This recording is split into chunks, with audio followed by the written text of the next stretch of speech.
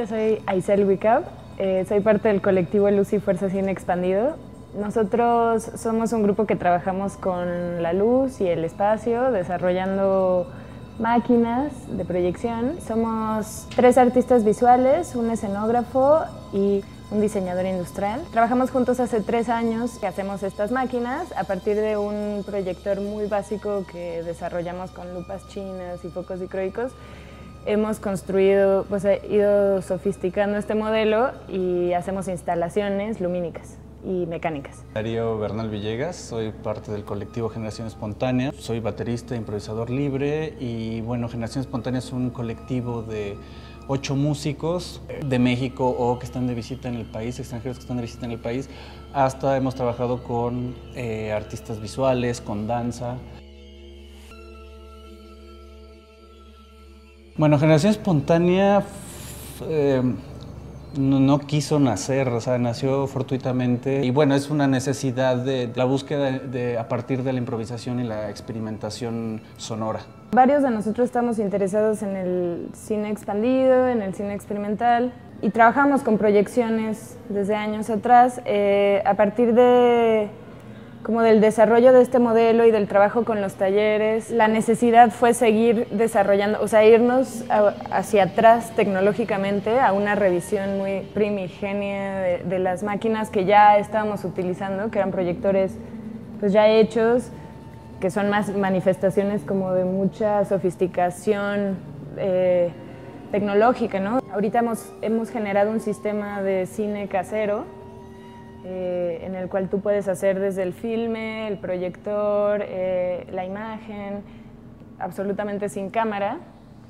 Y, y, bueno, pues eh, digamos que todas las opciones que se han desplegado a partir de esta práctica, pues son los que nos tienen hoy aquí.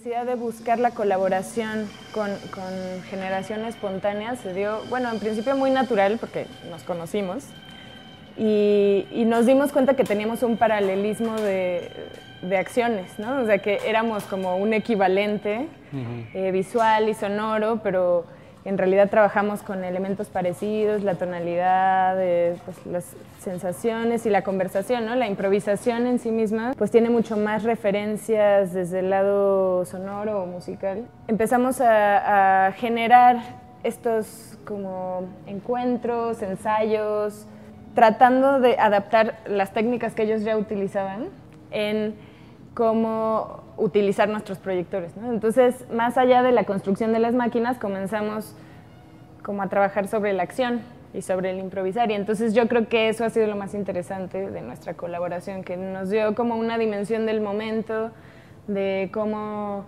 eh, hacer el ensamble. El cine expandido es un movimiento que, que surge en Estados Unidos y es en los 60 y por esta necesidad de, de, que el artista estuviera presente en, en, la pieza. Hoy en día, por ejemplo, lo que nosotros hacemos eh, está en duda si sigue siendo cine expandido o no, porque aunque nosotros venimos totalmente inspirados de ello, eh, digamos, nuestra práctica que va más ahora por el do it yourself, por buscar eh, una recuperación tecnológica también y, una arqueología, digamos, también de la tecnología. Eh, pues digamos, yo creo que también se desprende de estas prácticas porque también a veces automatizamos cosas, pero lo que me parece más interesante de estos eventos es que justamente es tan interesante el resultado de, las, de lo visual como, o de lo sonoro, como ver al artista interpretar lo sonoro.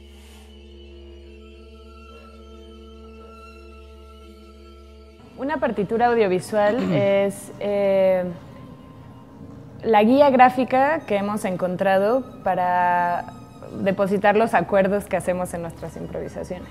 Marca el tiempo total de nuestra pieza y la distribución de ciertos cues o ciertos momentos eh, que nos funcionan para, para, ubicarnos dentro del ensamble y dentro de la pieza. Eh, sin embargo, pues siendo improvisación, pues en realidad no es que todos los parámetros estén definidos.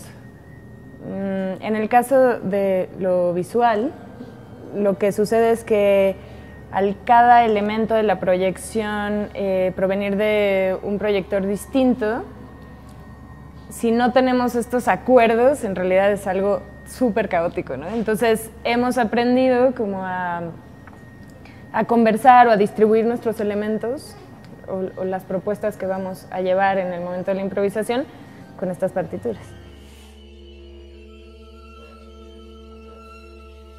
Pues es una cuestión en vivo, ¿no? Una, una película tú le pones, pasa la película y ahí nos vemos.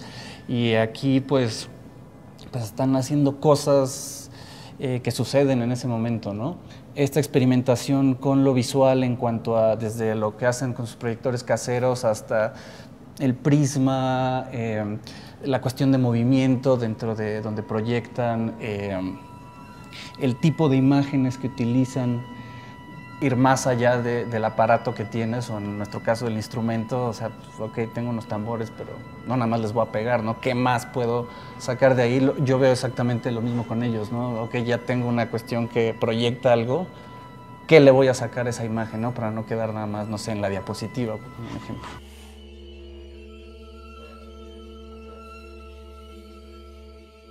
O sea, no es un rechazo a lo digital, pero el eh, Generación Espontánea se ha desarrollado como un, grupo acústico.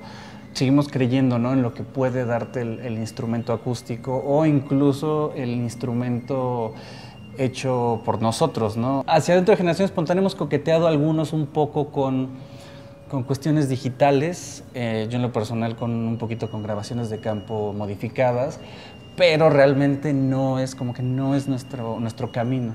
Seguimos creyendo en lo, en lo análogo cruzar un umbral de, de, del mercado, ¿no? de lo que el mercado nos dicta, que es la tecnología vigente o en uso.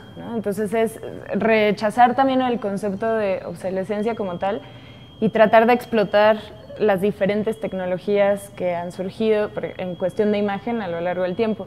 Entonces, obviamente, pues el cine tiene unas características plásticas que así muy difíciles de repetir digitalmente, no que no se pueda, pero equivale a mucho más parafernalia de lo que se puede.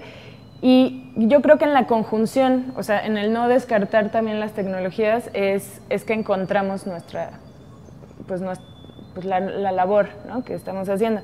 Sin embargo, ninguno de nosotros eh, ha desarrollado, por ejemplo, la electrónica muy complejamente. O sea, la forma en la que nosotros utilizamos la electrónica es muy básica y pues nuestro mundo digital eh, tiene más que ver con la, por ejemplo, generación de imágenes, la gráfica digital, pero eso siempre está presente en nuestros procesos. O sea, no importa si nosotros utilizamos proyectores analógicos, generamos mucha imagen digital, porque imprimimos mucho en, en plotter. Entonces, como que creo que va un, aunado a, esta idea de permacultura también, como de decir, en realidad las tecnologías ancestrales y las tecnologías de punta sirven dependiendo de cuáles son tus objetivos.